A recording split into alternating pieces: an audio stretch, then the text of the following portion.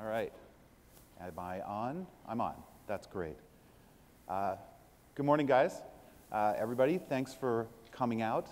Uh, I know it's early and probably everybody was out partying last night, so I didn't actually get to attend uh, Skrillex, but except on the 26th floor, I actually could hear Skrillex. So um, I was included, I was part of the party. So, uh, Jon Handler, I'm a, a, solution architect with Amazon Web Services, and um, it's been a, really a tremendously exciting year for Cloud Search. Um, really happy to share with you a ton of the developments and uh, new features that we've brought out this year. Um, about 25 new features for Cloud Search, and we'll go over all of those and, and go into a good deal of depth uh, on a, a, bunch of those features. So first thing I want to ask is, uh, who is a Cloud Search user, current user? Okay, so maybe half of the audience. Um, so this is a deep dive talk, and I promise you we will go deep, but uh, let's make sure for the half of the audience that has not used Cloud Search, we just cover a little bit of the basics. I promise I'll be quick. So you have a big pile of data, and you want to search that data. And uh, generally speaking, you know, you, you want to get that data into a format and send it into a search engine, right? So with Cloud Search, what we do is you create what we call a search domain. With your domain, you get two endpoints. Uh, one of those is a document endpoint. This is a, a, uh, an endpoint exposed through DNS. The interaction is RESTful, so um, you structure your documents and you send them off to your document endpoint.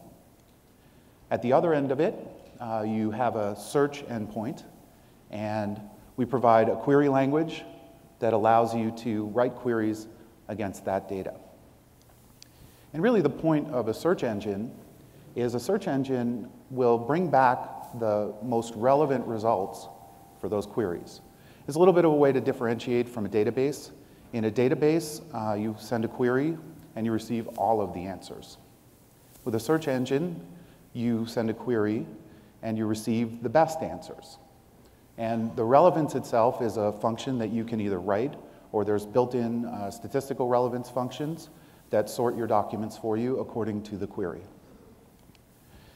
And ultimately, the point is, um, as you integrate with your application or your website um, that you drive engagement through getting people to the data that they're interested in and the, the products that they want to buy or what have you. And this is, um, you know, drives engagement, sells your products, and that. So let's talk a little bit about uh, Amazon Cloud Search. And again, it's been a really exciting year. Uh, we've, as I said, 25 products new released, released this year. But looking at sort of the arc of where we're coming from, uh, in 2012, what was that? Uh, in 2012, we released Amazon Cloud Search based on the proprietary A9 engine. And uh, what we found, you know, our customers really demanded both more features and kind of a lower cost structure.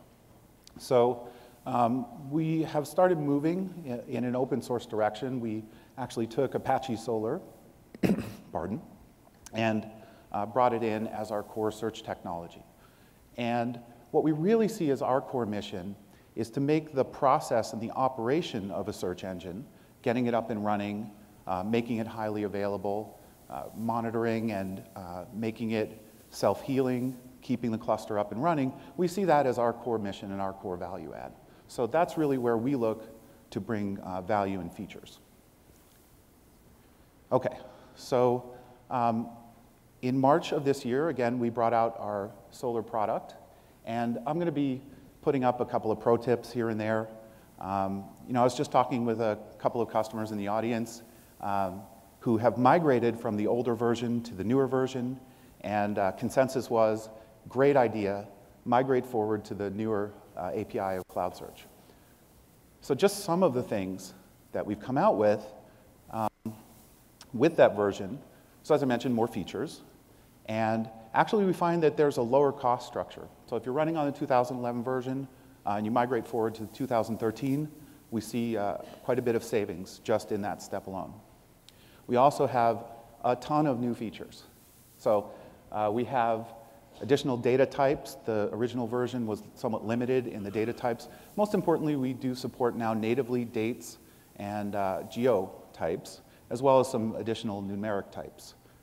Uh, out of the box, one of the big customer asks was that we would support more than just English. Original version was just English. Uh, the newer version supports 34 different languages. We also added uh, some critical sort of search UI features like highlighting and uh, search suggestions, which support things like a type ahead or an autocomplete feature. Uh, we have some Solr features in there like term boosting, fuzzy matching. And we also continue to innovate on the operational front. So we have uh, IAM integration, full IAM integration down to the ability to control the search and uh, document updates, integration with the AWS SDK and the common CLI to let you script it up, um, and a host of others. So we're going to go into depth on those. And you know, as I talk to customers and as, as I hear where people are running into problems, uh, I thought it over and I tried to sort of bucket it out and figure out where are the places that people uh, kind of typically run into issues. So uh, these are the buckets that I came up with. Um, as simple as it is to get started with Cloud Search, a lot of people run into issues with getting everything set up and getting their data in. So we're going to spend a little time talking about how do we do that in a good way? Scaling is a huge topic, and um, we've, we've released a feature that lets you set a, a minimum on your scale. But this has also caused a lot of confusion because people don't know, well, how to think about how big do I need to get. So we're going to have quite a bit of detail on scaling. Uh, we're going to talk through some of the new query interface, and then we'll also talk about some common architectural patterns that I run into. Okay, so let's uh, dive into this first topic of setting up. To get set up with Cloud Search, you know, what you want to do, first of all, is you want to create your search domain. Uh, you want to configure it, and then you need to take your documents and create uh, batches out of those documents.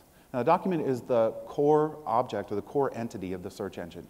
So in this step, what you're really going to do is you're going to take your data build it into a format or a set of entities that Cloud Search can search over, and then you're going to, um, well, you're going to secure your domain as well, and then you're going to upload that uh, set of documents to the search engine so that you can search against them. And the last thing is you want to actually monitor uh, the security and want to make sure that uh, the access to that domain is the intended access. So again, one of our big features, we uh, released uh, was the integration with the AWS Common CLI. Um, we have the AWS Cloud Search command, uh, and this allows you to do all of the administrative tasks. And you know, here, what I recommend, one common thing that we hear is that uh, people want to either copy or take a, a dev, a Q, uh, QA environment, and a prod environment, and they want to be able to copy the configuration forward. So my recommendation is to set this all up in a script, um, and then you can script up your, your index configuration. It lets you, you can run that script and just uh, copy out a, a new version of your domain. As simple as it seems, um, taking your data and getting it into Cloud Search format actually is a stumbling block for many people. Um, there's a lot of different places that this happens, but we're just going to look at the general pattern of what you need to do to get your data in. So what I've done is I actually uh, downloaded a bunch of tweets, and I had them on my local file system. So I wrote a script where uh, I just walked uh, that directory and opened each of the files and read all of that data in. Now the pattern is the same, whether you have a streaming API, you may have objects in S3, you may have objects in a, a, a relational database. The pattern is I'm going to go to my object store or stores, open that store up, and then one at a time pull objects out of there. Uh, for each one, I'm actually going to do a conversion from the original form to the form that Cloud Search expects. And um, once I fill up my batch, Cloud Search document endpoint is a batch uh, API. Once I fill up my batch, then I will flush it out. Uh, I chose to flush it to my local disk. You can actually use the SDK or uh, another HTTP transport method to push it straight to your domain. uh, whichever way you'd like to do it. One of, this, is, this is maybe the most important thing that I can tell you this morning. So, one of the most important things. So, uh, as I said, Cloud Search has a uh, batch format for its document uploads. We, the batches themselves can be up to five megabytes, and uh, within that batch, you can have as many documents as will fit in five megabytes. So the, you'll get absolutely the best performance if you put as many documents in your batch as possible. Sometimes what we've seen is that people who are sending single document batches will see the times increase for how long it takes to deploy uh, those documents to the running index. So to get the best throughput and to get the lowest latency on your updates, use the maximum batches. Okay, so um, we walked the file, and I'm just going to talk a little bit about the data conversion. Um, so the first thing that, that you need to do, much of this data can come from uh, users, so it can be user-generated data, could be coming from some kind of legacy system, uh, and it could have uh, bad characters in it. Actually, typically it has at least a bunch of, some bad characters in it. And bad characters here, CloudSearch accepts uh, all of the Unicode characters except for those that are illegal XML, uh, but all of the Unicode characters uh, encoded as UTF-8. If the coding's off or if the characters are bad, uh, things will fail and it is confusing. Many people get confused by this. So the first really important thing is to clean the text and make sure that all of the characters are valid characters. Cloud Search documents have an ID, and the ID is what identifies that document uniquely within the search engine. For me, it was fairly easy. I have tweets. Tweets have IDs, so I simply pulled out the tweet ID as my document ID. Um, if there are, you can do almost anything with the ID. Uh, if it's you know, from a database, you may have a, a row identifier, you may have you can hash up something and just have a random value in there either, but it has to be consistent. The next thing we want to do, Cloud Search um, is a denormalized format uh, for documents. So we don't support a nested document type. Tweets actually are nested. They have a user section and they have a retweeted section. So uh, you want to go in and pull out all of those additional uh, pieces of metadata and bring them up to the top level. And again, this is true if you have uh, nested documents in any format. You want to go in and, and denormalize them and pull all that data up to the top. Finally, there's some additional stuff in there that we don't care about, so we'll throw that stuff away. And in the end, uh, what we get is a set of fields. Uh, this is the, the format that I was talking about. I have a class that I wrote that just puts out the correct JSON, but fundamentally we have a set of fields and values that have been sourced from the tweet. As I mentioned, we have uh, CLI integration. Now, the important thing is we have two commands in the AWS CLI. A lot of people have missed the second command. Um, so there is a AWS Cloud Search domain, uh, what is it, Cloud Search domain uh, client. And then this one is the one that you call to do uh, document uploads, searches, and suggests. So you can do all those through the CLI, but you have to use the right command. CLI responds, yes, I uploaded 5,000 some documents. Another great thing that we came out with this uh, year is IAM integration for across all of Cloud Search commands. We had already uh, integration for configuration commands. We now have integration for search, doc, and suggest. So you can set up your IAM security. Uh, resource-based policy like this attaches to a resource. This allows you to specify for a domain either the actors or the uh, IP addresses that are allowed to connect to that domain uh, in this case for the actions of search and suggest. You can also set it up user-based, and uh, user-based policy, again, this, this confuses me endlessly. The user-based policies don't have users, they attach to users, right? So uh, the user-based policy attaches to a user. With this, you can control what that particular user can do. Um, and you can see here, you specify the ARN Amazon resource name for your domain, and then you can specify the actions for that user. So you also want to uh, monitor and make sure that uh, you know, people are accessing your domain in the way that you intend. Uh, this, this year we also released integration with CloudTrail for um, configuration commands.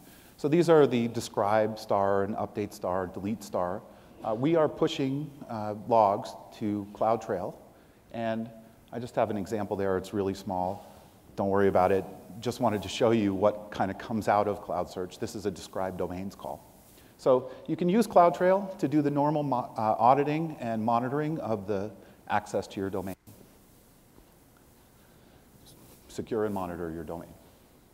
And when, when you look at the different policies and what you can accomplish with them, uh, what we typically would, would see is that your search and suggest uh, commands should be fairly wide open. This will allow a broad range of people to connect and do searches. If you have, for instance, a mobile application, uh, you may want to open it all the way up just to let people connect directly. Um, the doc service, you want to keep that one really tightly locked down. That's the one where uh, if somebody is uploading documents to your domain that's not you, not a good thing. Don't want to do that. And then, uh, as I mentioned, with the user-based policies, you can actually build up a set of policies for different uh, business classes of users. So if you have, say, somebody who is uh, an operator, they would need to do something like maybe scale domains. Um, you could have uh, devs who want to have full access to the range of cloud search commands. You could have business owners that are able to set up uh, either, uh, will list out all the domains and, and do some monitoring on them. Okay, first big topic. So thinking about scaling, um, as I said, we released a feature that lets you set the minimum instance type and the minimum number of replicas for that instance type. And what does that mean, and how do I think about that, and how do I understand uh, what numbers I should use for that? So there's a couple of cases where you definitely want to think about scaling.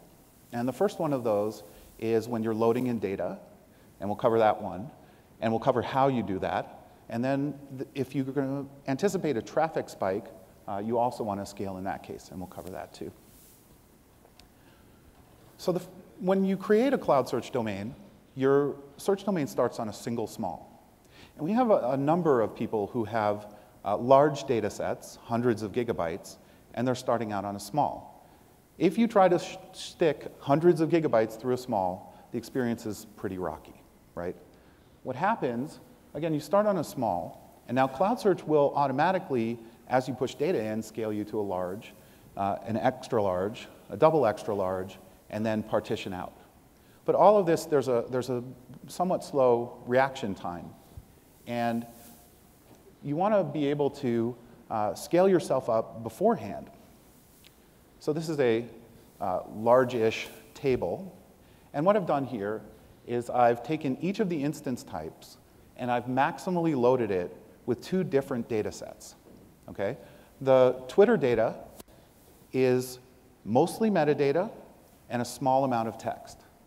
The common crawl data is from a web crawl, and it's a data set available on AWS. Uh, the common crawl data is larger documents, about 6K average, with fewer metadata. So we have two kind of different document types. And you can see the results are actually a little bit different. For the tweets, if we look at the 2x larges, uh, we can get 107 gigs of tweets into a single 2x large. Um, whereas with the common crawl data, we can get 64 gig into, uh, into the, the 2x large. Uh, the asterisk there is each partition of 2x larges would take uh, that amount of data. So when you're thinking about it, you can use this as sort of a baseline or for your thinking about how do I scale up for my load in. And what's going on here? What's the difference really between the tweets and the uh, common crawl data? When your data comes in, what Cloud Search does is creates a, a, data structure called an inverted index out of that data. The size of that thing is dependent on, number one, the number of different words, and then number two, the number of occurrences of those different words. So when you have text, you have something that's dense with words and occurrences of those words. The index structure itself actually is quite a bit larger than when you have a, a more uh, sparse version of text, like with metadata or short tweets, right? Um, eventually, those go onto the node. The other important thing to think about is options. So with the Cloud Search configuration, you can actually set uh, different options on your search fields. And as you set those options, those have various costs in terms of index space. So what I did here is with the common crawl data, I started out with all of the options off. and I took a baseline index size. Then I turned on all of the options and took an index size for that. And what you find there is that with all of the options on, it's about two and a half times as big. Um, I then went one by one and turned on the options and compared them to the baseline no option index size. In this case, you can see that highlight uh, is most of what the all options case is. Um, and return is also a large portion of that. Now, when you turn on highlight, actually, you're also turning on return. So that's why you have a little bit of overlap there. You can see the, oh, there it goes, that using the sort uh, is fairly inexpensive, and using facet is very inexpensive. So if you're thinking about costing, and you have uh, some higher costs and you want to turn off some options to optimize that cost, uh, you look first at the highlight and make sure that you're using highlight in cases where you really need it. Uh, and then look at return is also a big uh, a chance to really drop your index size quite a bit. Another question that comes up a lot is, well, can I multi-thread against Cloud Search? And the answer here is yes, you can multi-thread. And what I have up on the screen is the number of threads that we run on each of the instance types to accept document service connections. So uh, smalls, we have two, then five, nine, and 17. And the recommendation here is if you're going to multi-thread against an instance of that type, that you use these uh, numbers, one, three, five, and nine threads. You can push it harder, and what you would see is if you put too many threads against it, you'll start getting 500 errors. So you can use that to sort of dial in uh, the maximum uh, throughput. Okay, so all of this, let's take an example to kind of make it a little bit more concrete. Let's say you have 150 gigabytes of data that you want to load into Cloud Search. So what I typically use is 64 gig as a uh, baseline kind of common number for what I would expect to get onto a 2x large. So if I say, okay, well, I'll get two 64 gigs, and I have 150, probably what I need is three partitions of 2x larges. So I'd scale myself up to three partitions. And with those three partitions, I could run 27 concurrent threads to push all that data in. How do I do that? Is the first thing I want to do is, again, scale up my domain. And when I, when I issue the command to uh, update scaling parameters, my, my domain will require an indexing. So I scale up my domain and I index it. When it comes in with the three hosts, I can then load in my data. So I can push it in as fast as I can. Now, if you are pushing at a maximal velocity like this, your searches will be uh, somewhat wonky. They really will. Um, but as this is a data load, typically that's not going to matter. If you just want to get your data in as fast as possible, scale it up, push it as fast as you can, and then what you want to do is set it back to the, to the defaults or the minimums. So uh, in this case, I set it back down to an M1 small and a partition so why did I do that?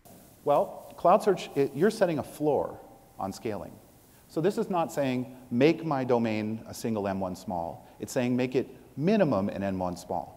Cloud Search will take all of that data you pushed in, and when you, when you run your index documents, Cloud Search will then pick the right deployment for you. So if it actually went on three, you'll go on three.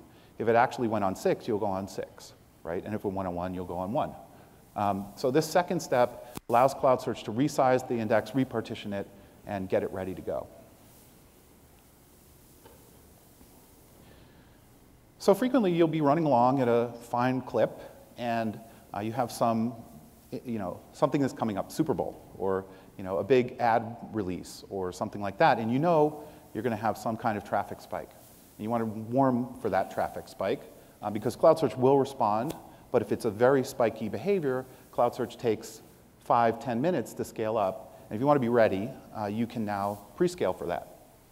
So just looking at how Cloud Search scales, let's say I have my three partitions, and I have a certain set of CPUs. Every query goes to every partition. So the CPUs are, are sort of joined um, to serve that query.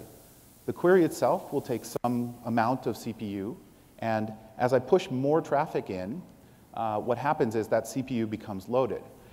When it gets loaded, Cloud Search will then add additional hosts, replicas of those partitions, so I'll essentially get more CPU to serve each partition. If I keep sending data, that'll keep coming in. Of course, Cloud Search is elastic, will also scale down when, you, uh, when your load drops. So scaling for queries, we add partitions. I did some testing to uh, come up with what is the capacity of each of the uh, instance types. And I have to put a ton of caveats here. Uh, this is with you know, my test data and my test queries. So my test data in this case, again, Twitter and Common Crawl. Um, and I also generated 10,000 one, two, and three word queries. And I used the simple query interface, just Q equals and some text. This would probably represent something like an upper bound on what you could get, but I actually got these numbers. So uh, I ran JMeter uh, with a script called JMeter EC2. It's kind of groovy, it's a little bit kind of old school, but it's a bash script that uh, fires up EC2 instances for you, puts everything on them, and runs it.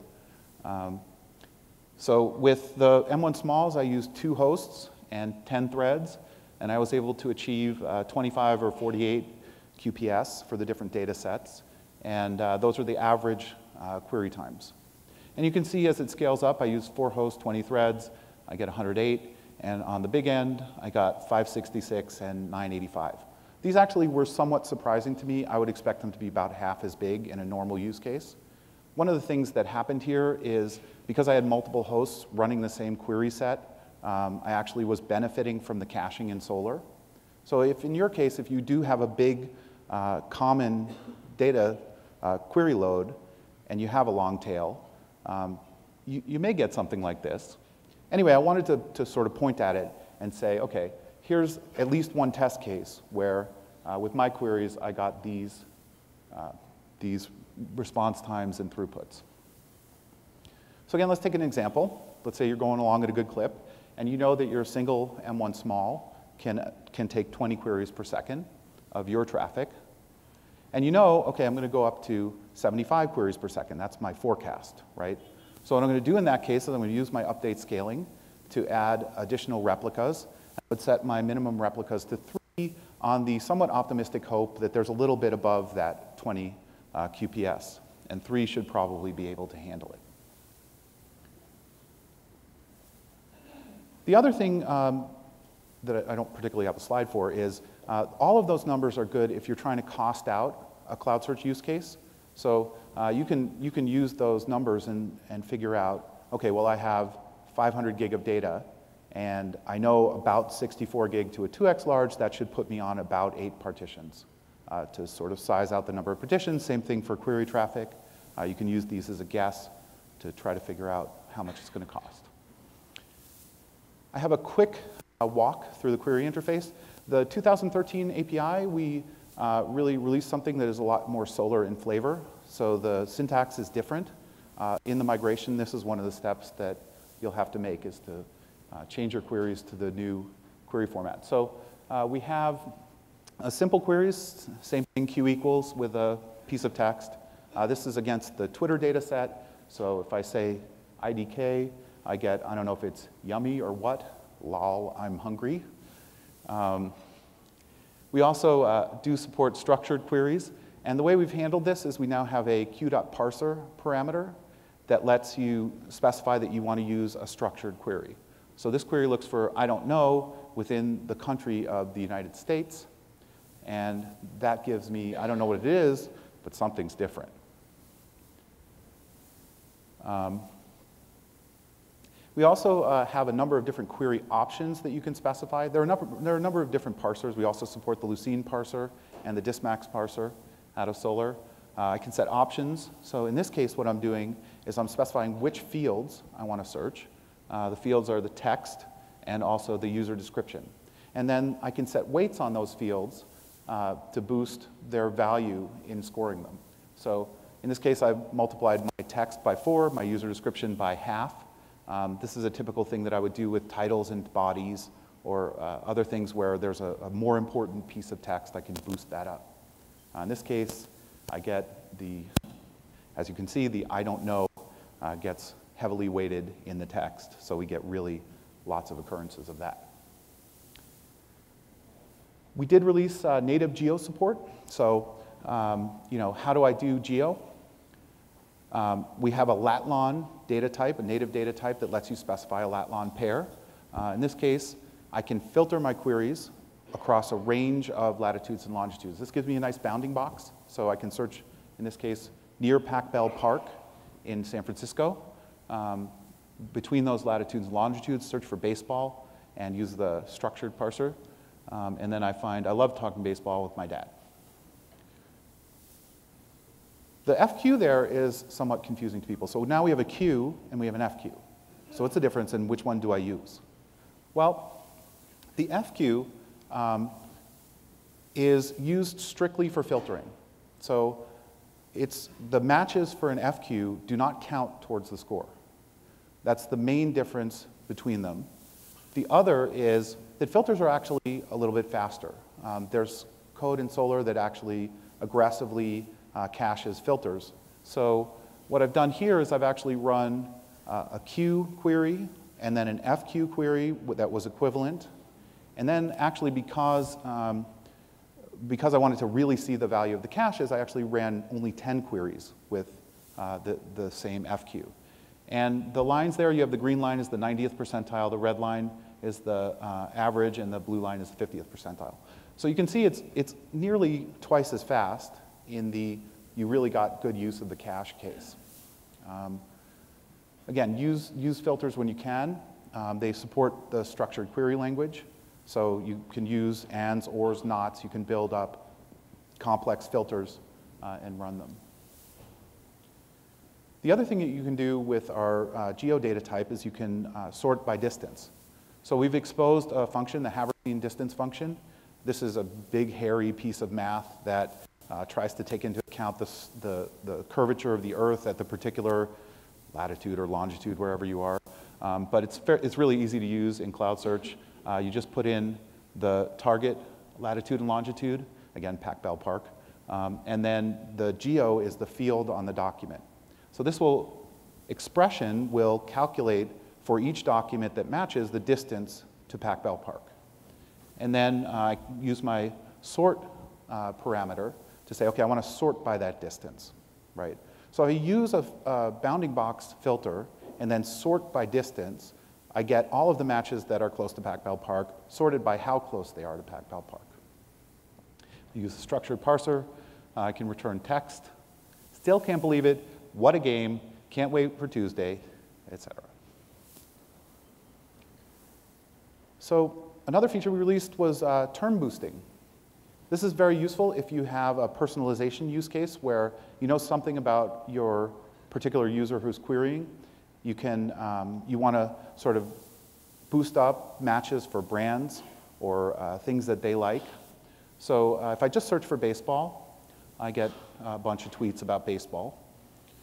I can also use this syntax to search the hashtag fields for SF Giants and boost that up by four. This syntax works um, in, the, in the structured query parser. Um, and in, that, in this case, I actually boosted it up so high I got only SF Giants. But you can use ORs here, and you can uh, allow that, that weight to play with the kinds of matches that come back uh, for that user. I mentioned we support 34 languages. Um, I would be remiss if I did not talk about how we support those languages. So our approach to languages is we take all of the text processing uh, parameterization for how to deal with a particular language, and we put it in something that we call an analysis scheme. So the analysis scheme, I give it a name, I can set the language there, um, and then this is half of the menu, so you can see some of the examples of the languages we support. I can also set uh, stop words for that language and uh, stems. We have algorithmic stemming depending on language. We have different levels of stemming available. And also, I can set up synonyms through a synonym dictionary. So all of this will be then in my configuration, I take that and I apply that language to a particular field. Tweets actually come with a language of the tweet uh, in all of that metadata. So one of the usual ways to handle a multilingual case like that is to split out each of the languages into a different field. We'll talk about there's another way you can handle that, and there's some trade-offs and pluses and minuses for that. But um, in this case, what I did is I created a text field in each of the languages. As I'm processing the tweet, I'm going to split it out. I'm going to say, okay, this is a French tweet, so I'll stick it into the French text field. Then my queries, if I know my querier is querying in French, then I'll query just against that field. Or I can use a mix of weights uh, and query against all of those text fields if I don't know the language. You can also use the AWS uh, SDK for searching. And uh, we now have, again, a split in the classes that are available. So we have the Amazon Cloud Search client. We also have the Amazon Cloud Search domain client. Um, very important, some people again have missed this. Uh, you can use the domain client to send search requests and document requests to your Cloud Search domain. And uh, what, what I've done here, it's fairly simple. I use my, uh, prop, my profile credentials provider. This is a newer one that, that uses a, an AWS profile to grab the credentials. Um, user profile there should be replaced with the name of an actual profile. Um, I set an endpoint. There's a nice interface in the search request class for Java um, that lets me set facets and filters and all of the other stuff uh, through individual methods. So I can build up a query fairly easily. I set my query and I can just send it off with uh, the, the search.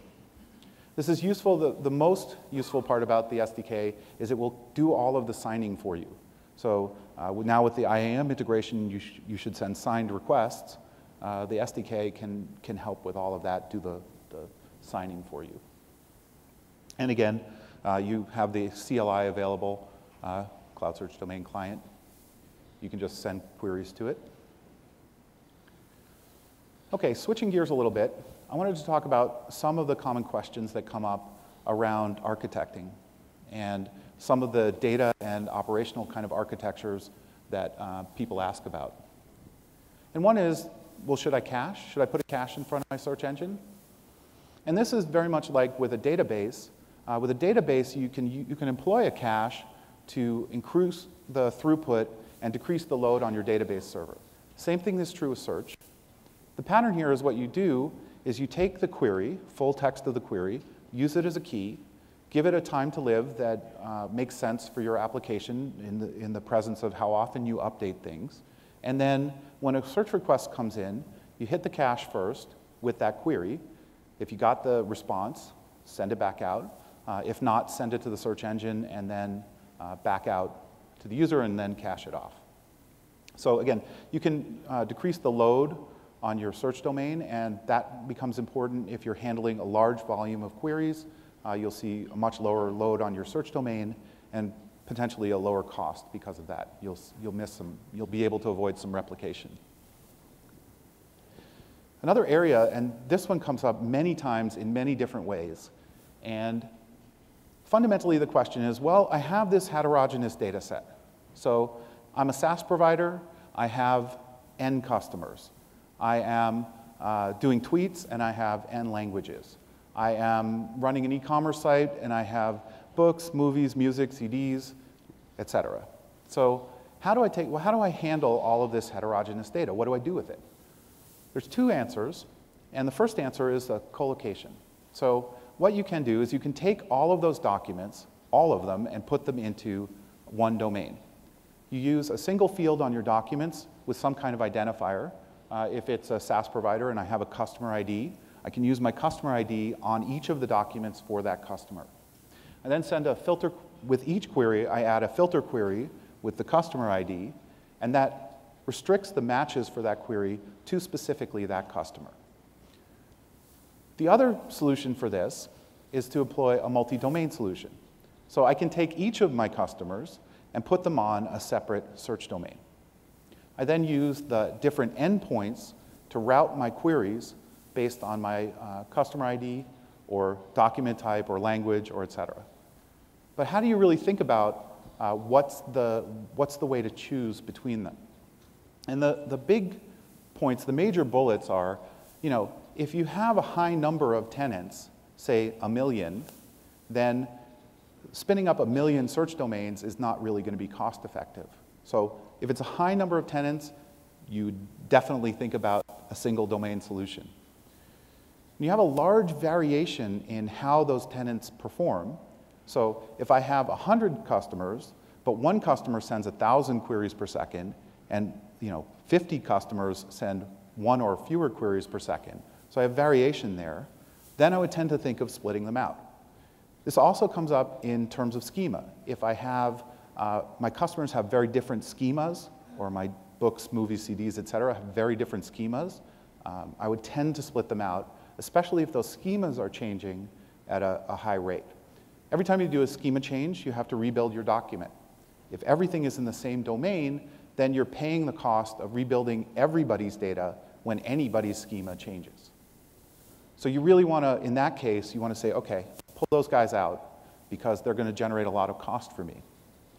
Where we usually end up is some kind of hybrid where you say, okay, here's my 100 smallest customers. I'm going to put them in one domain.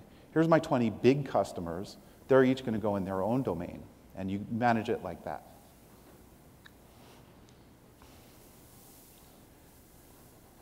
So I wanted to talk a little bit about relevance. The, you know, mining user behavior is an entire multiple PhDs worth of information that you can dig into. But there are some simple things that you can do to improve your results. The basic pattern looks like I have somebody who's interacting with my website, they're sending queries, they're clicking on things, they're buying things. So what I want to do is I want to track all of that interaction, right? Ultimately, what is the search query? What are the results for that query? Did the user click on something? Did the user buy something? At a bare bones level, you can push all of that uh, into Redshift or another data store. Um, in a sort of full-blown uh, way, a full-blown use case, you would then use EMR to crunch all that data up and uh, push it back into the application database and create it on your documents as additional scores and measures that you use uh, to change the relevance. Some of the things, again, that you can do that are a little bit simpler, um, you can do document boosting. If you're just tracking, even without that big uh, architecture, if you're just tracking which documents get clicked on, and you push that back into the document itself as a, a numeric field, you can then apply that, that field in a rank expression to boost up the value of that document.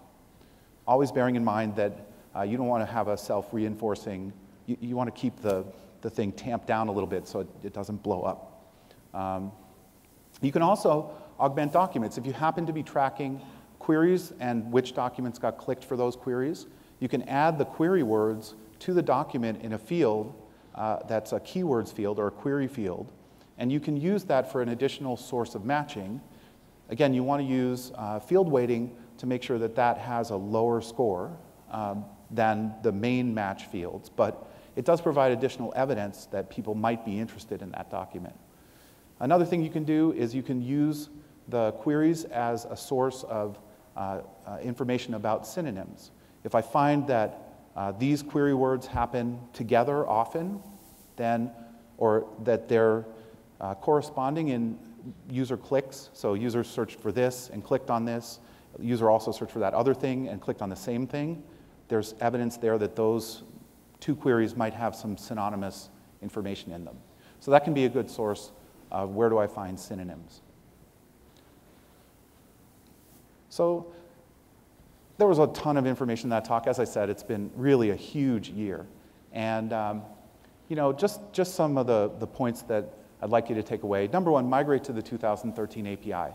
All of these features are 2013 API only. If you're using 2011, uh, definitely worth it to migrate. Use maximal batches. Uh, you will do much better. Um, for lo data load-in and um, query spikes, think about manual scaling. You now have some good numbers to go look at to figure out how big do you need to scale. Um, we have a number of different Solr features. I've really scratched the surface only of our query interface. So go have a look at the documentation. There's a ton of different stuff you can do with queries. Uh, and then thinking about architecting, again, the one that comes up most often, multi-tenant domains. Uh, we now have a nice way, or at least some framework to think about uh, how to do that for your use cases. So that's it for me. Um, I, I, encourage you to uh, do your feedback.